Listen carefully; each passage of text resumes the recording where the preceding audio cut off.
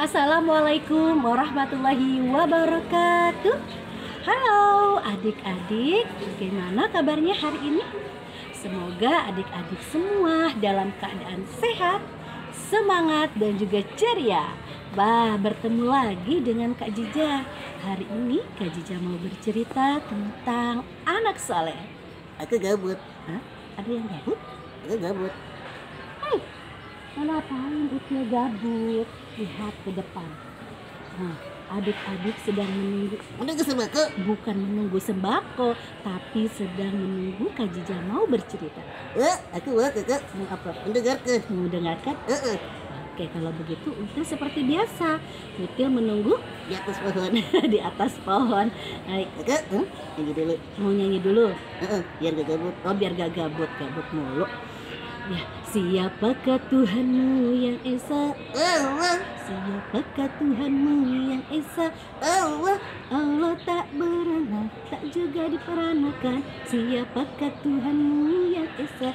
Allah. Oke, sudah ya? Oke. Baik.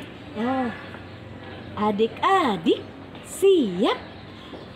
Ini kisah seorang anak kecil berusia 10 tahun bernama Umar. Umar anak yang soleh, cerdas, dan juga mempunyai semangat yang tinggi untuk menghafal Al-Quran. Karena cita-cita Umar ingin memberikan mahkota dan juga jubah untuk kedua orang tuanya di surga. Di pagi hari, ayam jago mulai berkokok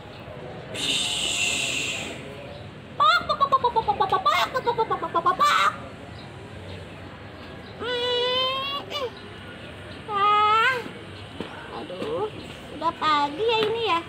Oh iya, sudah pagi. Ah, Alhamdulillah ya Allah, aku masih diberi kesempatan oleh Allah untuk hidup. Ah iya, aku lupa, aku baca dulu ya. Bismillahirrahmanirrahim. Alhamdulillahilladzi ahyana ba'dama amatana wa ilaihim nusyur. Amin. Ayah, aku harus cepat-cepat ke kamar mandi. Aku mau berwudu dulu. Umar pun bergegas ke kamar mandi untuk berwudu.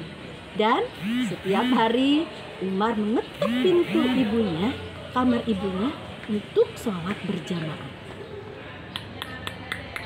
Assalamualaikum, Ibu. Waalaikumsalam. Hah? Umar sudah bangun? Iya, Ibu. Aku sudah bangun.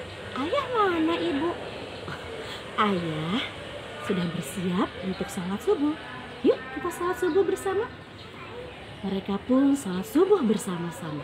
Dan tidak lupa setelah sholat subuh Umar pun membuka Al-Quran untuk bertadarus bersama.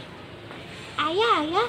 Oh, nanti aku ingin ayah di surga aku pakaiin ayah mahkota dan juga eh, jubah eh, jubah yang bagus, ayah. Hah? Umar? Masya Allah, ayah bangga sama Umar. Ayah doakan, ibu doakan semoga Umar dimudahkan oleh Allah dan selalu istiqomah dalam menghafal Al-Qur'annya. Ah, siap ayah. Umar semangat. Ibu juga bangga Umar sama Umar. Semoga Umar selalu istiqomah. Ibu sayang, ayah juga sayang sama Umar. Terima kasih ayah. Terima kasih ibu. Dan sesudah selesai Umar, ayah pun bersiap-siap untuk berjualan. Ayah dan Umar berjualan cilok keliling kampung. Cilok, cilok. Siapa yang mau beli cilok? Aci dicolok. Eh, teman-teman, ayo beli. Murah loh, enak lagi. Dan juga halal ya ya. Iya, cilok, cilok. Cilok. Nah, teman-teman, Umar juga sangat senang berbagi. Dia suka berbagi kepada seluruh eh, orang yang membutuhkan. Ketika sudah selesai berjualan, eh, apa azan asar pun berkumandang. Allahu Akbar, Allahu Akbar. Ayah Umar bergegas untuk pergi ke masjid dan bersolat asar berjamaah. Selesainya sholat berjamaah, ayah pun pulang ke rumah. Ayah sudah merasakan badannya tidak enak. Ayah pun izin untuk beristirahat di kamar. Ketika ibu sedang membawakan obat untuk ayah ke kamar, ibu pun kaget karena ayah sudah dipanggil oleh Allah. Ibu pun menangis, teman-teman. Begitu juga Umi. Ayah, ayah, aku pengen sama ayah. Ibu, aku pengen sama ayah, ibu. Ayah bangun, ayah, bangun. Umar anakku, ikhlaskanlah, ikhlaskanlah ayahmu nak. Allah itu lebih sayang kepada ayahmu. Doakan ayahmu nak, ikhlaskan. Semoga kita bisa berkumpul di surga Ibu, Umar pasti akan mendoakan ayah ibu biar kita bisa berkumpul lagi di surga. Ayah, ibu, aku berjanji ibu, aku akan berusaha untuk menjadi penghafal Al-Quran ibu agar kelak aku bisa memberikan bakatnya kepada ayah ibu. Ya, ibu bangga sama kamu. Ayah juga pasti bangga kepadamu. Nah, teman-teman, Umar pun semakin hari semakin semangat dalam belajar Al-Quran. Karena akan sudah berjanji untuk berusaha menjadi seorang penghafal Teman-teman, teman-teman pun bisa menjadi seperti Umar. Yuk, semua semangat dalam belajar, semangat dalam menuntut ilmu.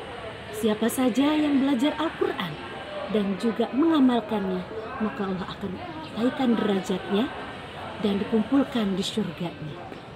Nah teman-teman, itulah kisah seorang anak saleh bernama Umar.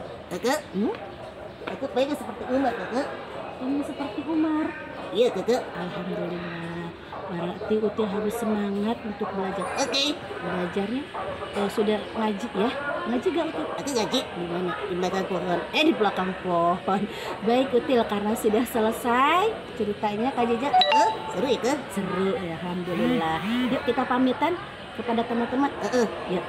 Wassalamualaikum. Warahmatullahi wabarakatuh. Dadah, dadah.